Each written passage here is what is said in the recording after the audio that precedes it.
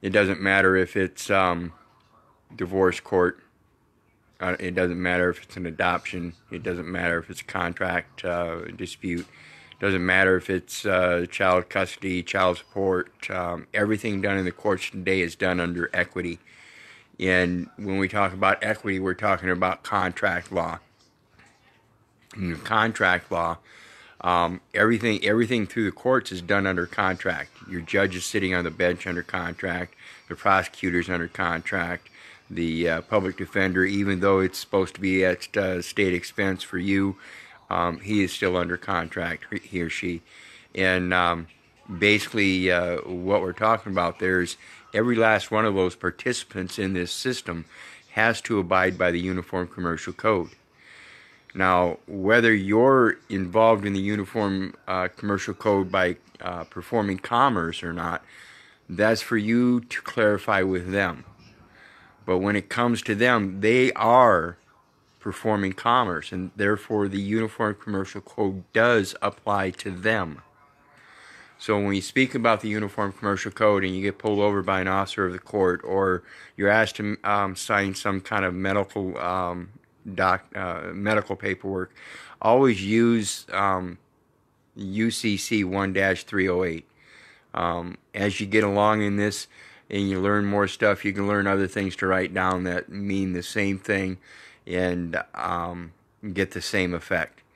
And basically, what the 1 dash the uh, reservation of your rights. And in that, it clarifies that um, without recourse, without prejudice, or words of the like are sufficient. Anything of the like is sufficient. So the only the only requirement for a reservation of rights is your intent of reserving those rights. And part of that intent, when we're denoting the UCC 1 308, or in other words, using Okay, there we are. So anyway, when when using the uh, UCC 1-308 in regards to signing any document or anything, when we talk about intent, intent is a mental thought, and it is a it is a prerequisite, let's say, to anything else. So when you're signing a document and you want to show your intent, you also use the reservation of rights first before you sign, before you write, before you print, before you make your mark, before you authorize, you make it your intent first. That is known as notice. And so, like I said, um, the like language, like words can be used and are sufficient. And so you can use without recourse. You can use um, um, as I do now, I use all rights adhered to, dot, dot, dot, and then just my first calling, what people call me. Is, to me, it's not a name, it's my calling. And so I use just that, and that's the lowercase k e i t h. Um, so it's, it's just your intent, and you have to make that clear. You have to give them notice. And that's the next point I want to talk about in the UCC is the notice. Mm-hmm. Under section 1-202, it speaks about notice knowledge. So that once you give them notice, they now have knowledge. And if they're expected to know, as they are in law, sitting on a bench, they know they're not supposed to practice law from a bench. They know what a signature is. They know what a mark is. They, they know what an autograph is. They know what the common law is. They're deemed to know the law in order to administrate the law. So they already know this stuff. And what you're going to do is you're going to give them notice by giving them notice that you notice the notice. In other words, you're going to use the, the UCC 1 202, giving them notice that you know of the Uniform Commercial Code of Notice and of your reservation of rights. And that they now have notice that you've reserved your rights and given them notice of that. Period. Now, along with that uh, UCC 1 308 and UCC 1 202, we're also going to let them know of UCC 1 103, wherein it gives you the hierarchy of law, and it says that they're they're part of the purpose of the Uniform Commercial Code in Section 1-103, which is the construction of under the construction of the Uniform Code. It's true. It's construed to be um, conform to the uniform values of all of the jurisdictions.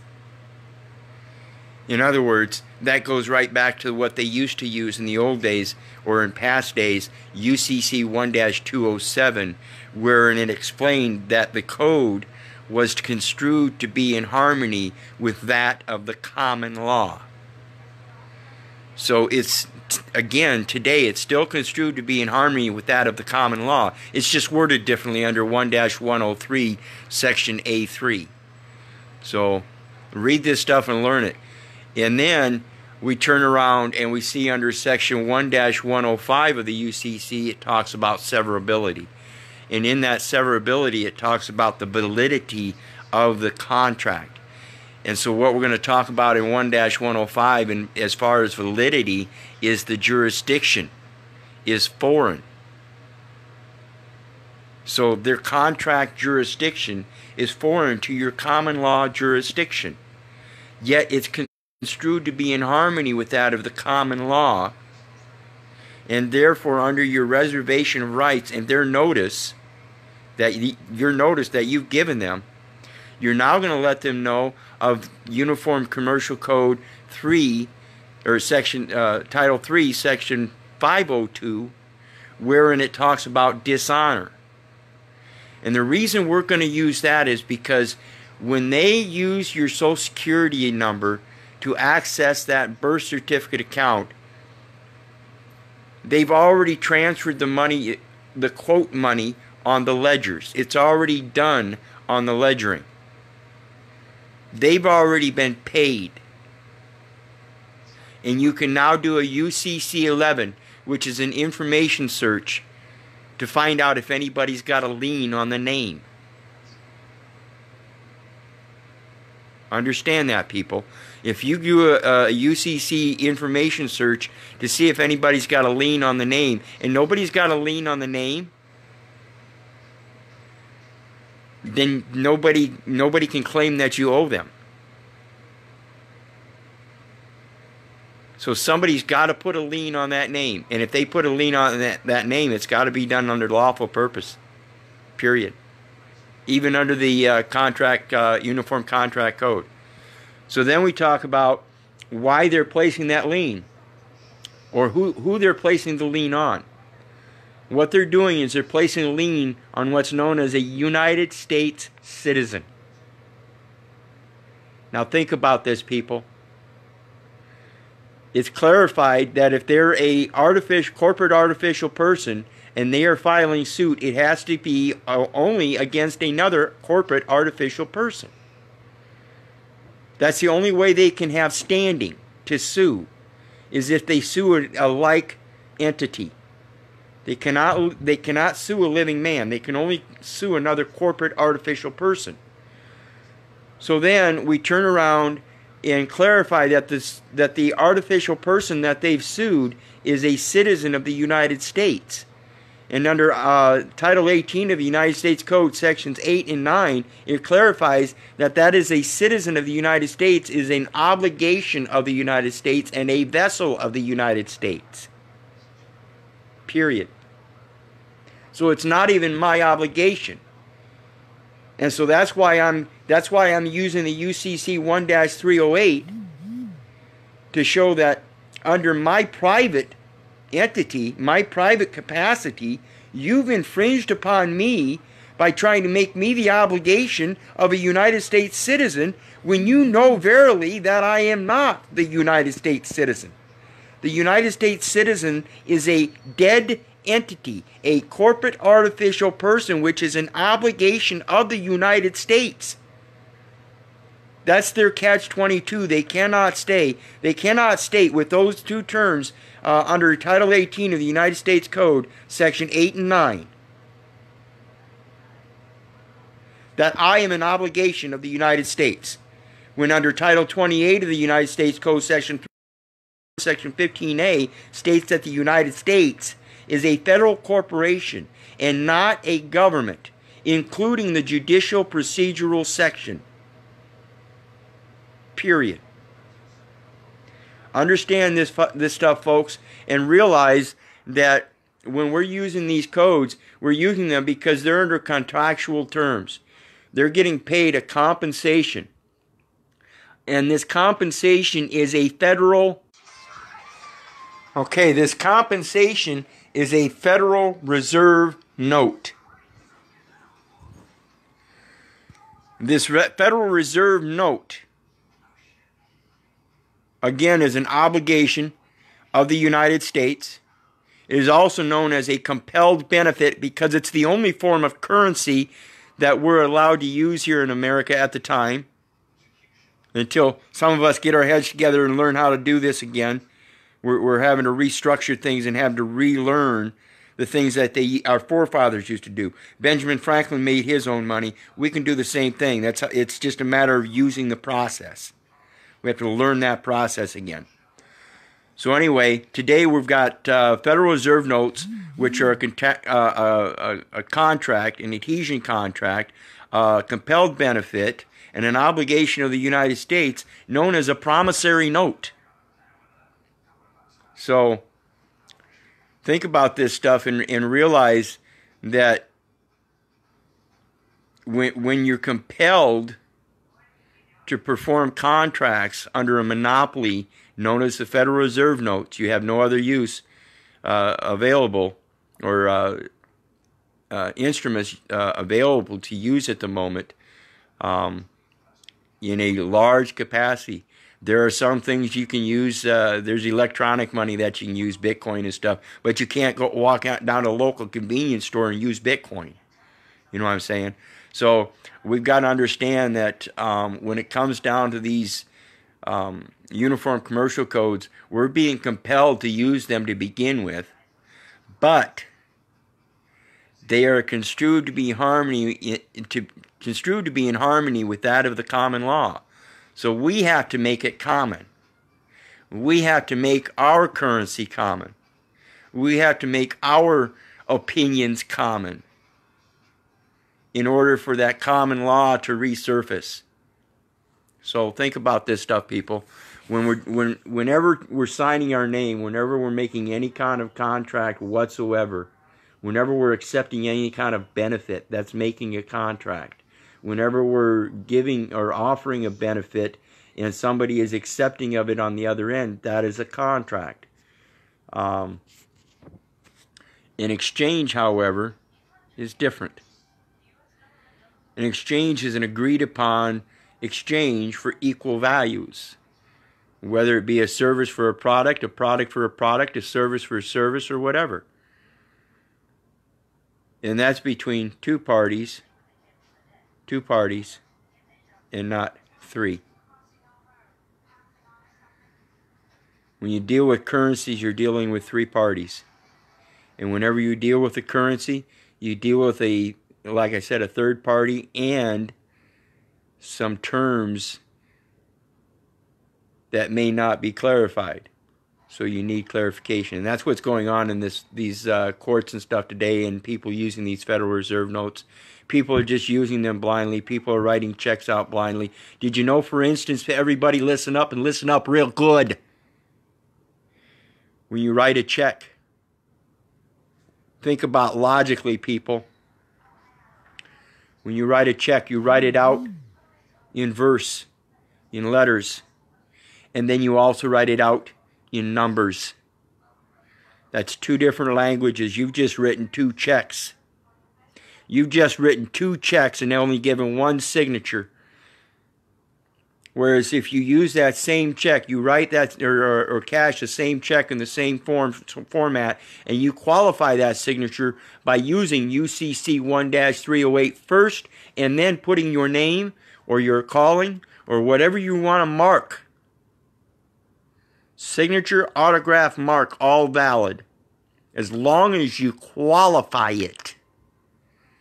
It has to be a qualified endorsement, reserving your rights unalienable and inherent and common amongst us all. No other signature is valid. Any other signature you give, you're giving up or waiving some kind of right. Period. So understand when you write a check and you don't write a qualified signature, you're writing two checks. You're writing one in lawful money and one in legal tender. Understand this stuff, people. So again, I urge, and I'll be doing more videos later on. Um, beginners, it's it's okay to use their uniform commercial codes. Right now, I'm working on uh, transliterating the Uniform Commercial Code into just common English. So when you walk into court, you can let them know, hey, I've already reserved my rights, and under the hierarchies of law, um, the uh, the uh, uh let's see, the uh, paramount laws of the land, which are common amongst us all, um, are the ones that we're going to be applying today, because it is my choice as the uh, the one that's been accosted in these matters as, as a foreigner to your jurisdiction. Um, you've now been given notice, and uh, I'll, I'll, let you know. I believe you're acting in dishonor. Da da da da da, and go on um, the uh, rest of the the bit there. You know, but it, it's just a matter. Um, understanding what these codes are and the process of using them and hopefully uh, I'll be able to fine tune this down and and get every uh, get everybody uh, um, a little bit a little bit more learned on how to use them because this this is uh, very uh, uh, sustainable stuff that we can use against them. You know, they keep telling us all any word you use can't or any word you say or Yeah, so uh, when they say uh, anything you say can and will be used against you in a court of law, use their fucking words against them. Excuse my language there, but I'm I'm kind of tired of this stuff, and uh, uh one of these days we're going to be able to show everybody how to beat these these people in these courts real easy. And um, so my next one, uh, on to the next one, is uh, we're going to talk about UCC 9-402, where it says secured party not obligated and basically, what we're going to do there is we're going to explain to them we're the secured party. See, this United States citizen was created because of our being born. We are the true creditor. We are we are the ones that have a paramount security interest in the United States citizen. Now, by authenticating the birth certificate, both through the state and federal levels, we can prove that we are holder in due course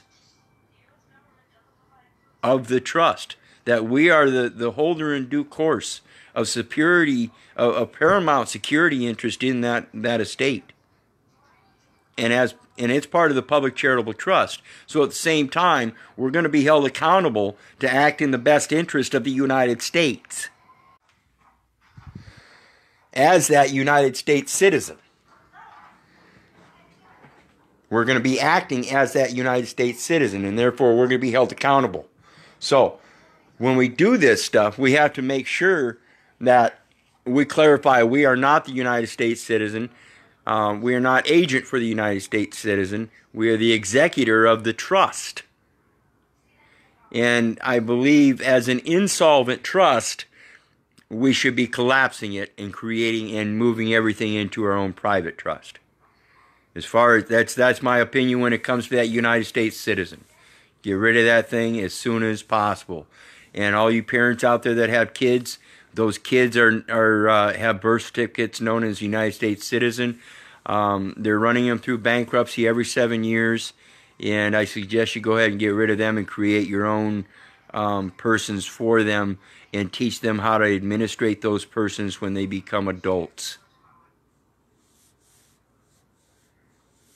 Anyway, um, section 9 402, secured party not obligated. And why? Because under Title 18 of the United States Code, Section 8 and 9, it speaks about the vessel of the United States and the obligation of the United States being the United States citizen.